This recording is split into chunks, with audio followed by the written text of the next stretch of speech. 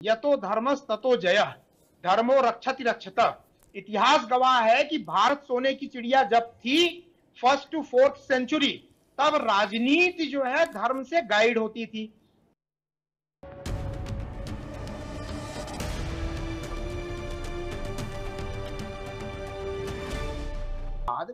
एक सभ्यता ऐसी थी अंग्रेज़ों की कि उन्होंने जब अपने आप को शासन तंत्र को जब धर्म से अलग किया तो उन्होंने विकास किया। अब उनके धर्म में क्या बुराई थी कि जब तक धर्म से वो जुड़े थे, वो विकास नहीं कर पा रहे थे। हमने तो विकास ही, हम विकास की पराकाष्ठा पे हमारा देश तब था जब हम धर्म और राजनीति एकदम समझ लीजिए कि यूँ जुड़े हुए थे, कि कोई भी राजनीति का काम बिना धर्म के नहीं होता था। हम धर्म से जैसे जैसे दूर होते गए, जो अपने यहाँ का धर्म है, अपनी भूमि का जो ओरिजिनल धर्म है, जो तीन चार धर्म है, हम जैसे जैसे दूर होते गए, राजनेताओं ने दूर करना शुरू किया तो हम विकास से भी दूर होते गए और स्वागत है ए के मिश्रा जी राजनीतिक विश्लेषक। मिश्रा जी का बहुत बहुत स्वागत है। सैयद मोहम्मद तकी। अमिताभ जी कबीर दास ने कहा लाली मेरे लाल की जिद देखो तितलाल। लाली देखने मैं गई मैं भी हो गई लाल।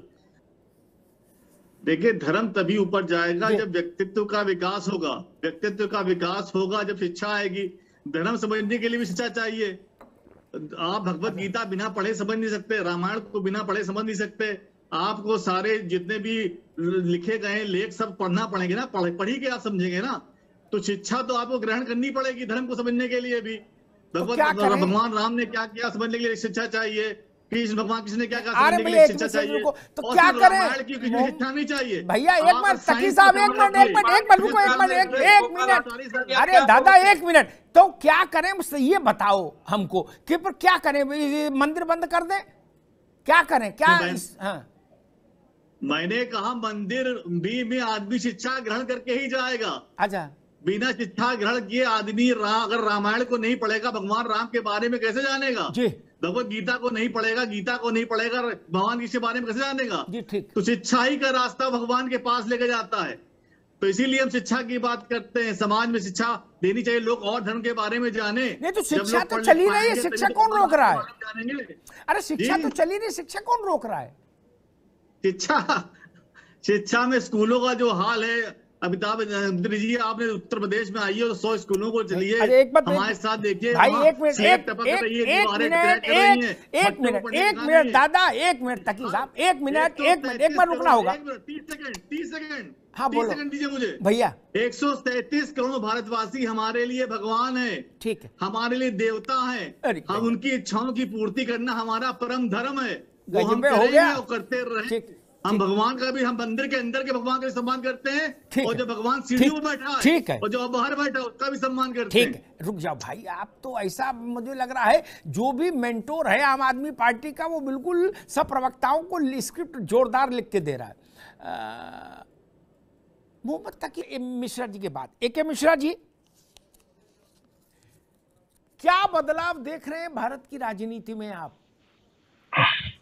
कुछ तो बदलाव है। देखिए। भले ही ऊपरी तौर पर ही सही लेकिन कुछ बदलाव तो दिख रहा है।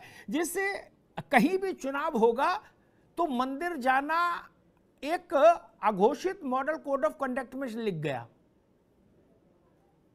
लड़ना है चुनाव तो मंदिर जाना पड़ेगा फ़ोटो खिंचानी पड़ेगी। क्या?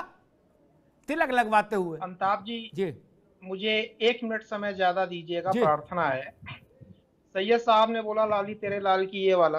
एक मैं भी पढ़ दूँ, काकर पाथर जोड़ के मस्जिद लई चुनाए, ताचड़ मुल्ला बाग दे का बहरा हुआ खुदा है और इतिहास में ये दर्ज है, मैं किसी धर्म का अपमान नहीं कर रहा हूँ। वेटिकन सिटी की पहचान, वहाँ के एजुकेशन उससे नहीं है, सबसे बड़े चर्च के कारण है। मक्का और मदीना की पहचान इसलिए नहीं है कि वहाँ कोई ग्लोबल यूनिवर्सिटी है या तेल का खजाना है। अल अक्सा मस्जिद की पहचान किस चीज़ के लिए है? धर्म स्थल के कारण है। सवाल जो आपने बोला डेफिनेटली बदलाव आया है। यह तो धर्मस ततो जय। धर्मो रक्षति रक्षत। इतिहास गवाह है कि भारत सोने की चिड़िया जब थी फ़र्स्ट टू फोर्थ सेंचुरी तब राजनीति जो है धर्म से गाइड होती थी। अच्छा सेक्युलरिज्म का विकास का कुछ ऐसा चश्मा चढ़ा द्वितीय विश्व युद्ध के बाद, एक सभ्यता ऐसी थी अंग्रेज़ों की कि उन्होंने जब अपने आप को शासन तंत्र को जब धर्म से अलग किया तो उन्होंने विकास किया। अब उनके धर्म में क्या बुराई थी कि जब तक धर्म से वो जुड़े थे, वो विकास नहीं कर पा रहे थे। हमने तो विकास ही, हम विकास की पराकाष्ठा पे हमारा देश तब था जब हम धर्म और राजनीति एकदम समझ लीजिए कि यूँ जुड़े हुए थे, कि कोई भी राजनीति का काम बिना धर्म के नहीं होता था। हम धर्म से जैसे जैसे दूर होते गए, जो अपने यहाँ का धर्म है, अपनी भूमि का जो ओरिजिनल धर्म है, जो तीन चार धर्म है, हम जैसे जैसे दूर होते गए, राजनेताओं ने दूर करना शुरू किया तो हम विकास से भी दूर होते गए और समस्या आज तक नहीं सुलझी है। दूसरी सबसे इंपॉर्टेंट चीज़, देखिए, ये इतना बड़ा ढोंग था कि पंडित नेहरू जी कुंभ में जाके नहाएँगे, उसकी भूरी भूरी प्रशंसा करेंगे। उनको पता है कि जितने आदमी वहाँ आते हैं, इतना बड़ा वोट बैंक, मैं दस साल लगातार रैली करूँगा तो भी इकट्ठी नहीं होगी। वोट बैंक पे नज़र है और मंदिरों पे नज़र इसलिए है कि मंदिरों का खजाना सरकार के पास जाए क्योंकि सरकार के पास उद्यमिता तो रही नहीं जो स्टेट गवर्नमेंट है। तो अब पैसा कहाँ से आए राजनेताओं के ऐश के लिए? तो मंदिरों का पैसा लो। ये एकदम साफ़ और क्लियर है कि ये भारत को उन्नति के मार्ग पे नहीं देखना चाहते हैं और भारतीय सभ्यता और संस्कृति यहाँ का जीवन स्तर तभी उठेगा जब धर्म की जय होगी। ठीक बात। देखिए, कोई मैं बार बार ये बात कह रहा हूँ, उनको समझना चाहिए, कोई भी धर्म जो है, वो हमेशा शिक्षा की बात करता है। इमाम क्या पढ़ाएँगे, लोगों को शिक्षा देंगे, उनको ज्ञान देंगे, उन्हें समाज में रहने का तरीका सिखाएँगे। हिंदू धर्म में क्या सिखाया जाता है? श्लोकों को बताया जाता है, उसके मतलब बताया जाते हैं, जीवन में रहने का तरीका बताया जाता है।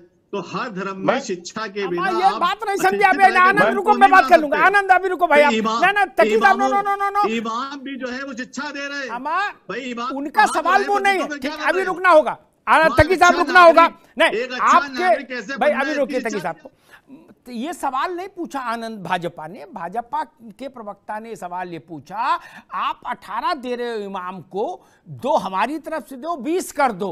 लेकिन पुजारी के भी 20 कर दो। ये मसला है। आप कहाँ के सवाल कहाँ जवाब दे रहे हो? तराजू बराबर तो रखो एक मिश्रा इस समस्या शायद यहीं से शुरू होती है। जब हम इमाम का वेतन बाँध देते हैं और पुजारी से कहते मरो जाए।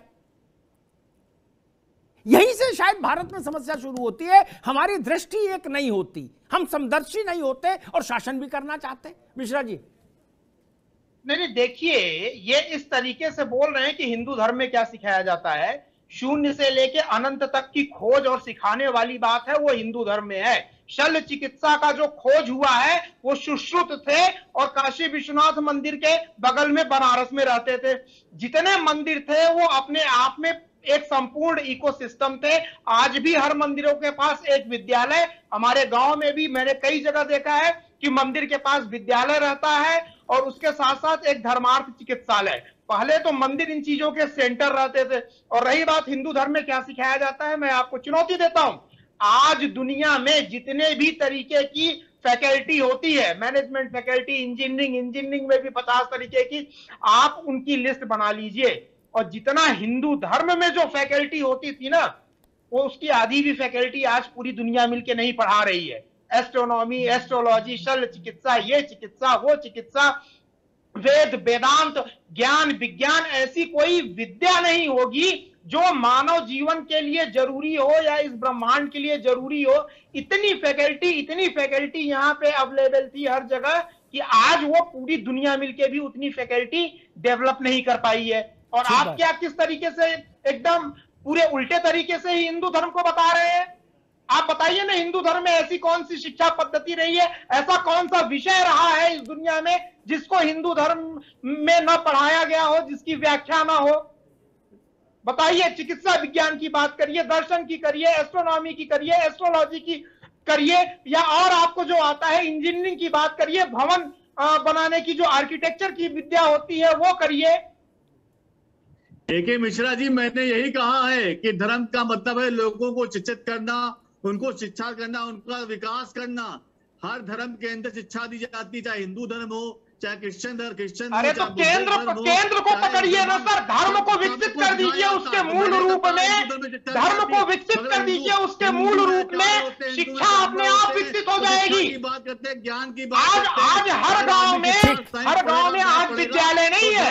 जब भारत में सनातन धर्म था हर गाँव में अपना विद्यालय होता था हर गाँव में अपना चिकित्सक होता हूँ, था एक संपूर्ण व्यवस्था थी। मैं कह रहा हूँ आप सही बात कह रहे मैं आपकी बात को समर्थन कर रहा हूँ मैं कह रहा हूँ बिना शिक्षा के आदमी वेदों का सही अध्ययन नहीं कर पाएगा।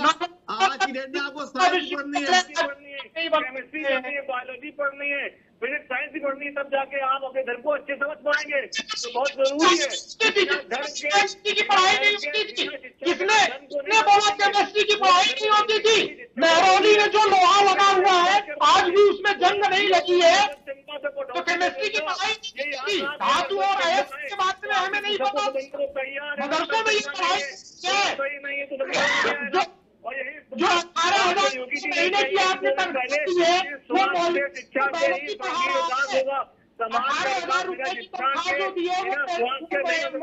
आपको ठीक, ठीक, ठीक। है? आपकी बात आपकी बात है, तो सही बात कह रहे हैं। हैं। ठीक है, ठीक। है। आपके साथ हूँ ठीक। सही बात कह रहे हैं। ठीक है। ठीक है। आपके साथ हूँ। ठीक। इंट्रोडक्शन हो रहा है बायोलॉजी का। कंप्यूटर साइंस का साइंस का इंट्रोडक्शन अब हो रहा है? यूपी में में का बायोलॉजी पढ़ेंगे मॉडर्न दिल्ली में पढ़ा रहा है बायोलॉजी पढ़ा रहा है। और लोगों को धर्म को और अच्छे से समझा पाएँगे नहीं दिए मैं धर्म को लेकिन हमारे मंदिरों में। बायोलॉजी पढ़ाई जाती थी। कि एस्ट्रोनॉमी मनुष्य के एस्ट्रोनॉमिक विकास साइंस होता है। चिकित्सा जब तक विज्ञान पढ़ाया जाता था। युद्ध विज्ञान पढ़ाई जाती थी। ठीक ठीक रुकना होगा भाई रुकना होगा रुकना होगा रुकना होगा।